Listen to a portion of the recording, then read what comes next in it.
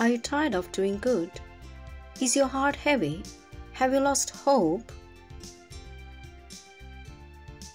Is your heart broken? Maybe you are wondering why God is not answering your prayer. Do not be disheartened. Be of good courage.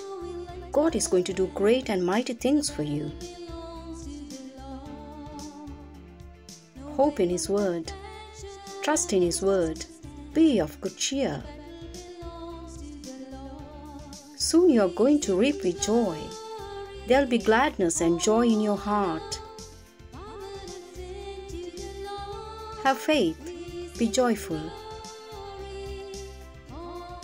Our tears are the waters that give life to the dry and thirsty ground, making the seed to grow, which we have planted.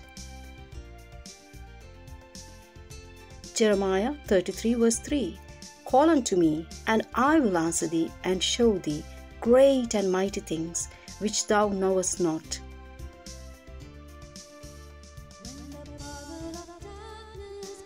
How wonderful are these precious words given to us! They are eternal and everlasting.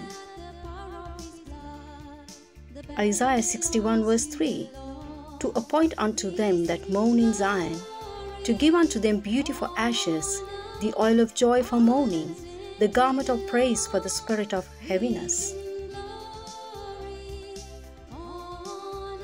Psalms 30 verse 11 Thou hast turned for me my mourning into dancing.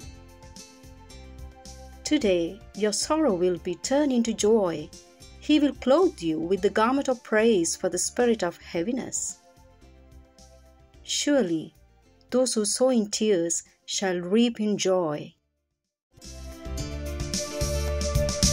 Love is weapon to fight in this land. The battle